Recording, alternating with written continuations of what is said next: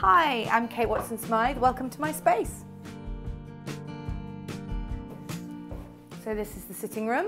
So I live here with my husband Adam and my two sons Isaac and Noah who are 16 and 14. And we moved in in December 2010 just before Christmas.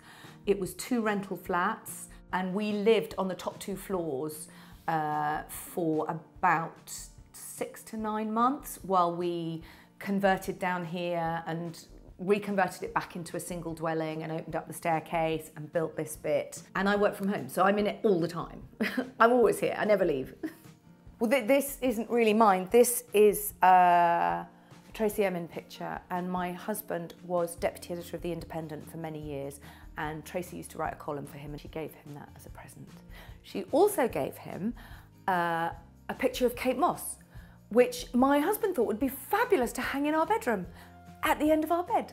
So every morning I wake up to a picture of Kate Moss, which isn't at all stressful. We thought very carefully about how we use the space and we neither of us tend to go in there till after nine o'clock at night because there's feeding kids and there's homework and there's work and other things going on. So we painted it dark because it is a room that's used mostly in electric light um, and that particular shade of grey, downpipe by Farrow and Ball, works very well in electric light and so it's cozy. It hides the telly as well. Painting a room dark makes the television disappear so you don't necessarily see it when it's not on. So I found this in a local junk shop and gave it to my husband for his 40th birthday. Um, we both went chose. It wasn't just me buying it for me. Well, not totally. And, uh, but it's been completely taken over by Enid. Obviously, not sitting on it today because why would she oblige? And she's absolutely mullered it my mother was divorced and she bought her first house and she said, oh, I've seen a dresser I'm going to buy. Um, I'm going to save up for it and I've worked out that if I save up for it, I'll be able to buy it by the summer. And she came home from work the next day and said she'd bought it. So now this is the library, which sounds terrible, room full of books. Um, normally I sit here, but clearly someone has decided now this is her chair. So um, that'll probably need reupholstering in about six months.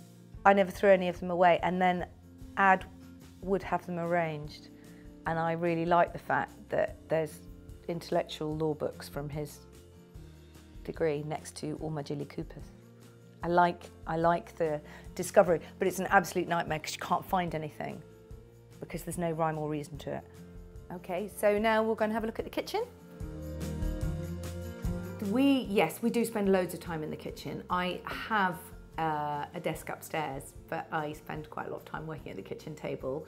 I do think the kitchen is the heart of the home, but more than that, actually, I think it's the table you sit at because that then is about the food and it's about sitting with people and it's family meetings and planning things and eating. That chair came from, I'm sure he wouldn't call it a junk shop, but a, a sort of vintage furniture shop uh, and I think it's one of the old barber's chairs from Claridge's, which they got rid of when they were revamping it.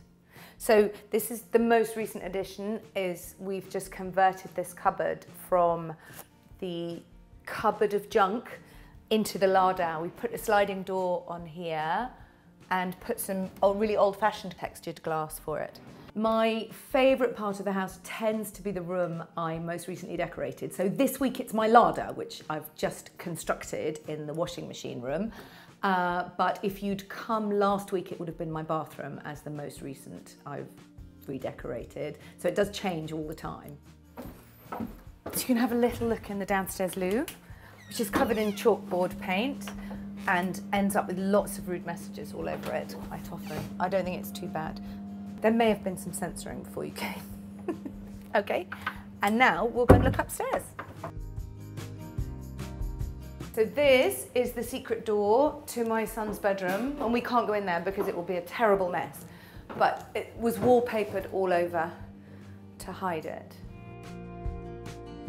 My other son's bedroom, we can't go in there either because he's 16 and it's very private. And this is the spare room, and we can come in here.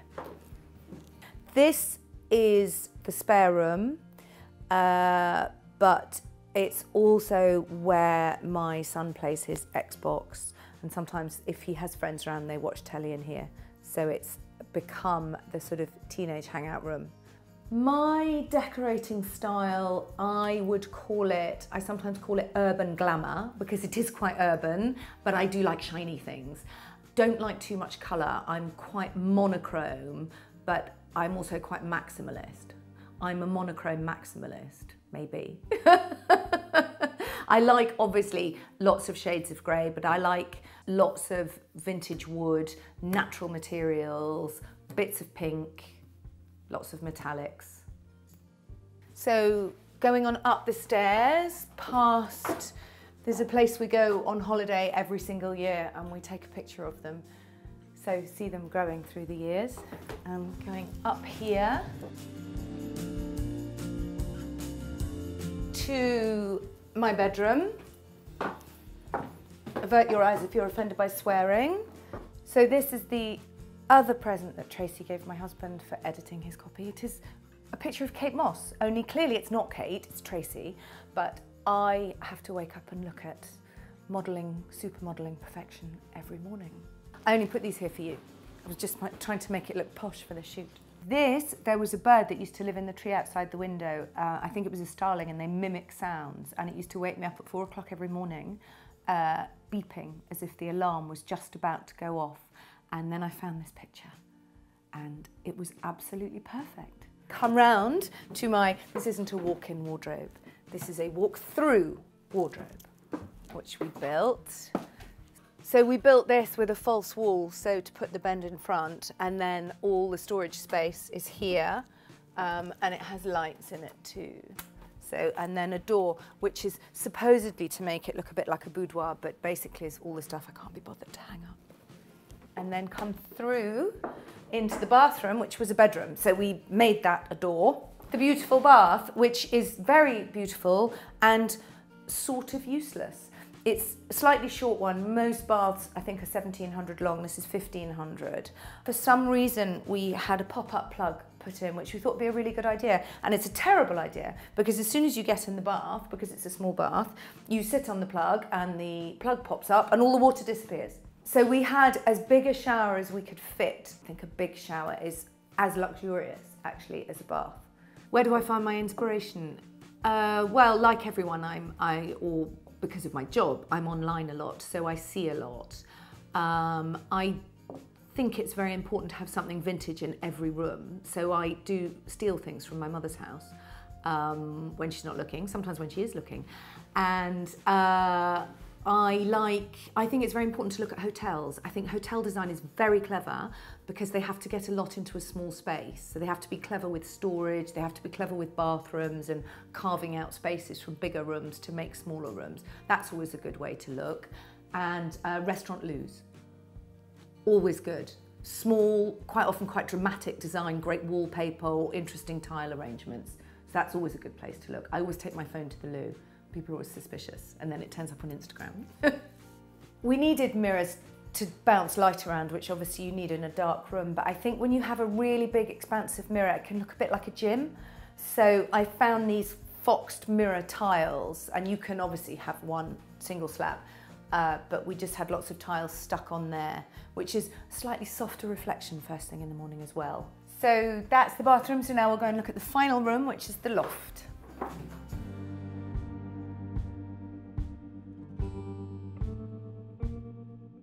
We wanted to do the loft because we'd taken out a bedroom to make it into our ensuite bathroom. So, and against all the advice, you never get rid of a bedroom. So we felt that it would be good to put it back and have it as a spare room.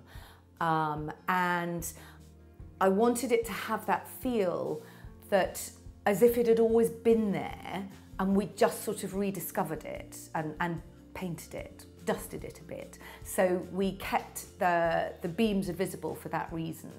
And uh, I wanted it to have those old small windows in it. And we wanted to keep it open and the floorboards would be painted white, same as the rest of the house, to very much keep that continuity, again, to make it look like it had always been there.